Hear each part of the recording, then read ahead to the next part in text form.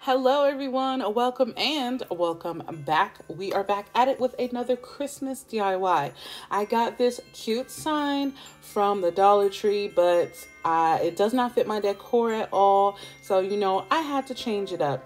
Now, what you're about to see is just a whole hot ass mess. I was cringing the entire time I was the entire time I was editing this. I was like, "Girl, you gonna stab yourself in the hand? Why are you doing that?" It was a mess. this whole thing was a mess. Um, but I do end up being able to salvage it in the end. Um, but yeah, I should have just skipped all this mess and covered it up from the beginning because mm, this was just it was impossible like i could not get it off i don't know let me know if y'all have an idea of how i could have gotten it off without like almost cutting my fingers off but um once I finally decided to give up, I started laying down some fabric, laying down some paper, seeing what I wanted to do. And what I ended up doing was taking some heavy, plain white cardstock paper and tracing it out using my X-Acto knife and gluing that down. Um, that would um, smooth out the surface because it was looking a mess um, after I was yanking and pulling and prying at the front of it and that um, cardstock actually gave me a flat surface to put on my decorative paper, which I got from Hobby Lobby.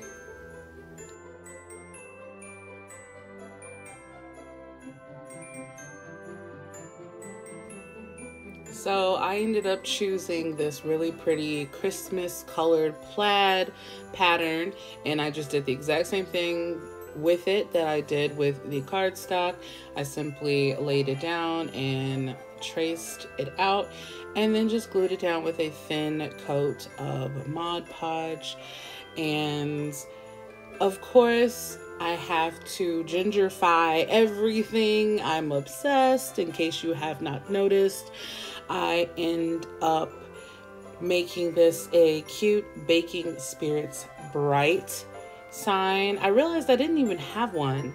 I keep seeing them, but I don't have one, so it was time for me to make one.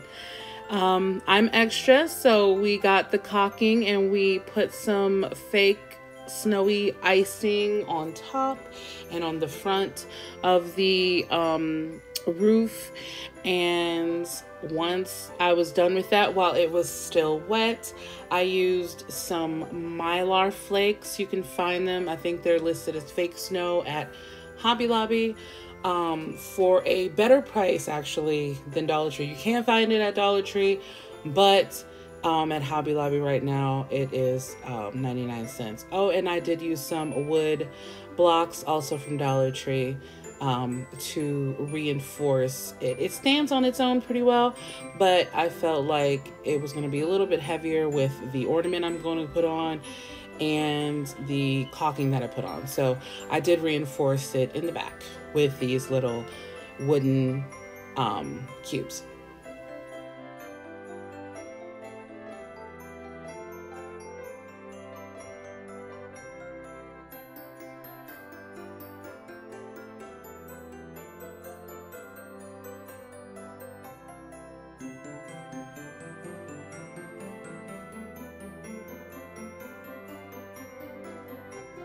So now I am going to lay down my vinyl.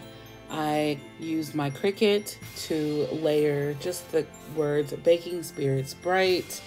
Um, you can go on Google and find a bunch quite easily, or you can go to Etsy and find some. And I'm starting with my layering. I have it red in the back and white up front because I thought it would make it pop and it really, really did. And then once I laid my vinyl, I did a little embellishment using some um, Hobby Lobby items and Walmart items.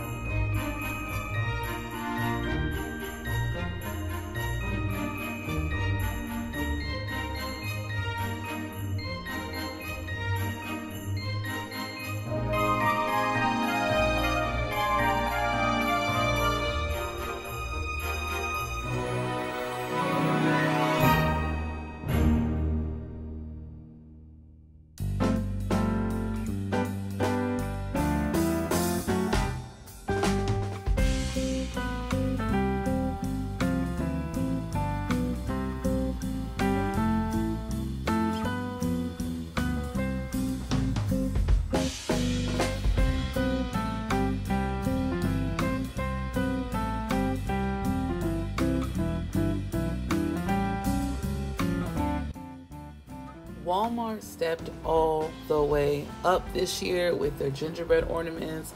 I thought they were so cute. And this one right here that you see is absolutely fitting. He is holding a little rolling pin and it does say Baking Spirits Bright. So naturally I had to choose this one.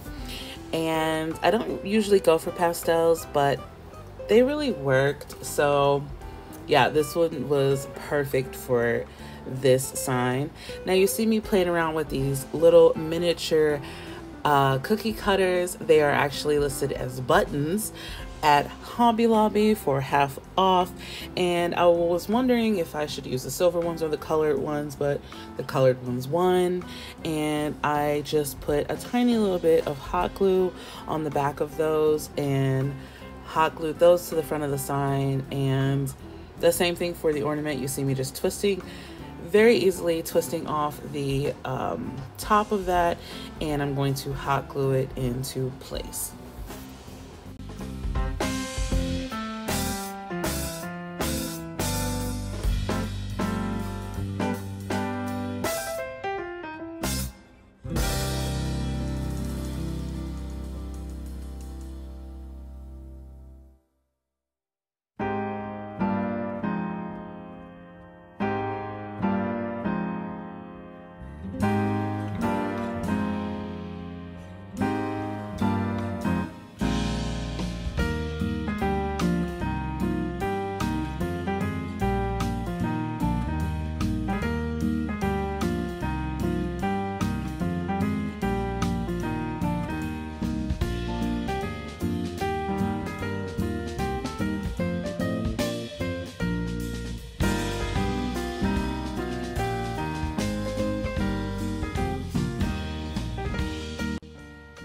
That was it for this super simple and easy Christmas sign. Um, crisis averted. It wasn't too bad to fix. So I'm really excited with how this turned out. Let me know in the comment section what you think about this. Would you try one of these? It was very easy to do, even though I made it way harder on myself. if you enjoy these types of videos, I do a ton of Christmas DIYs and a lot of them are gingerbread. So if you're team gingerbread, stick around. Make sure you hit the subscribe button and hit the notification bell so you know when I upload. Thank you so much for watching and I'll catch you in the next one. Bye.